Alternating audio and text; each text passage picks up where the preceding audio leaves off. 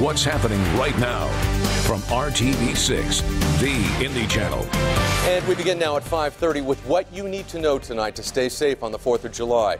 People all over the state will shoot off fireworks tonight. Most will do it safely, but there are bound to be injuries that are avoidable.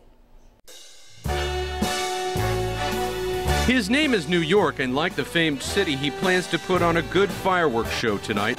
And New York says safety comes first. Safety does come first.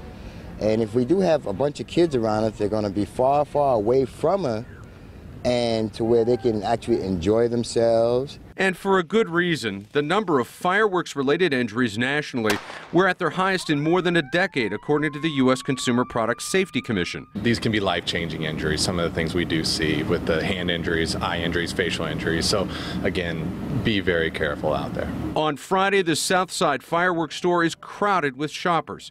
Fireworks are big business since the state loosened regulations in 2006. This is a fuse cover so that uh, we don't have any accidental um, uh, ignition. The industry says safety is its top priority. We are the most tested product in the United States.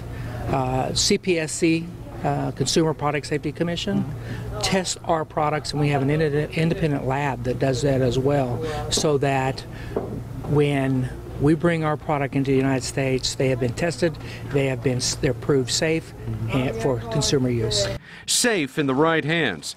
Still, 8,700 injuries caused by fireworks were treated in emergency rooms in 2012, and an estimated 17,800 fires were caused by fireworks in 2011. Now, a spokesman for the Indianapolis Fire Department told me today they prefer that people never shoot off fireworks and recommend that you go to a professional show instead.